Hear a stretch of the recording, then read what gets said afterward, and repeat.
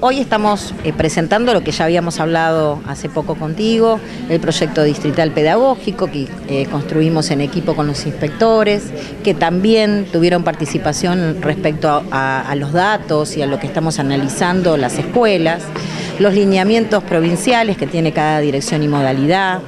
nuestras acciones como inspectores, como asesores,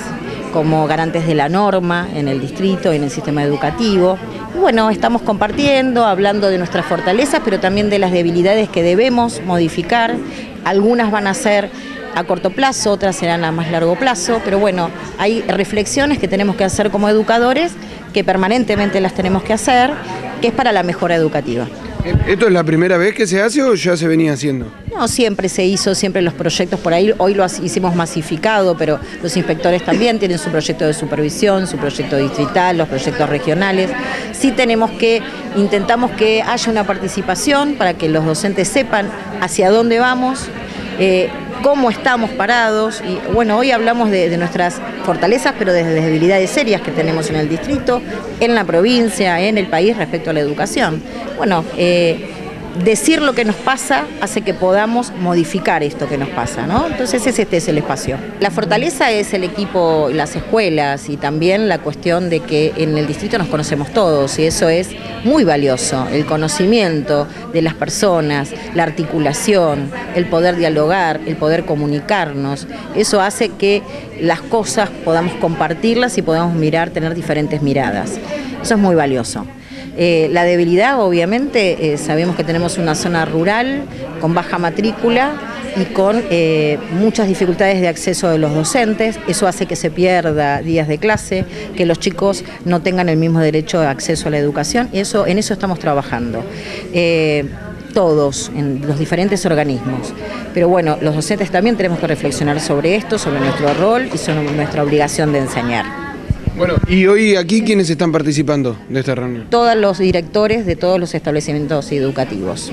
por eso están los inspectores, cada uno con sus lineamientos, cada uno con su mirada específica de primaria, de inicial, de técnica, de secundaria, de las modalidades, para acompañar a los directores, apoyarlos y que, bueno, entre todos podamos mejorar el sistema educativo. Nivel primario hoy va a estar presentando el proyecto de supervisión que se desprende del proyecto de supervisión distrital y regional, donde vamos a presentar las líneas de la política educativa, que son las que nos comprometen a trabajar, y eso está articulado con todas las debilidades que mencionaste y algunas otras que tienen que ver eh, principalmente con las trayectorias escolares de los alumnos, que bueno, eh, históricamente primaria fue considerada como la rama madre, eh, todo pasaba por primaria, pero en el transcurso de la historia de la educación de nuestro país, eh, contar con educación secundaria, con educación inicial y con las modalidades nos obliga a trabajar articuladamente pensando en las necesidades específicas de cada uno de los chicos que tenemos.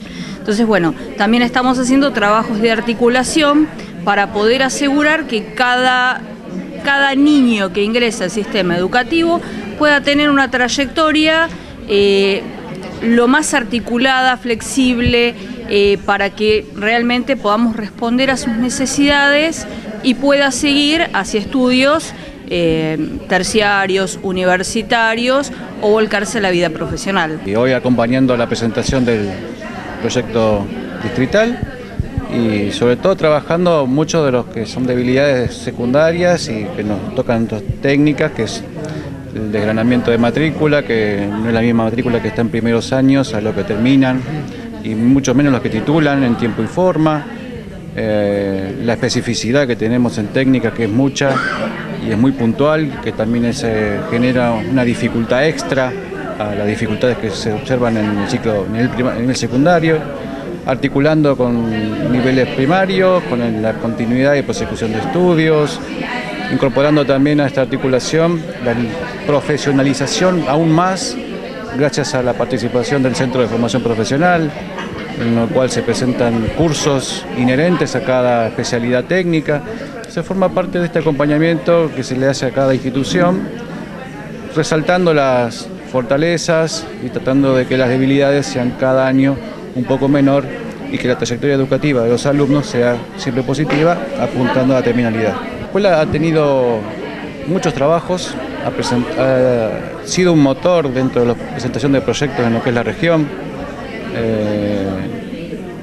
siempre tomando de solventar tecnológicamente necesidades puntuales distritales y hasta necesidades regionales en las cuales se pueda colaborar. Ahora se va a trabajar en forma conjunta con otras regiones en lo que es la generación de, o utilización de energías alternativas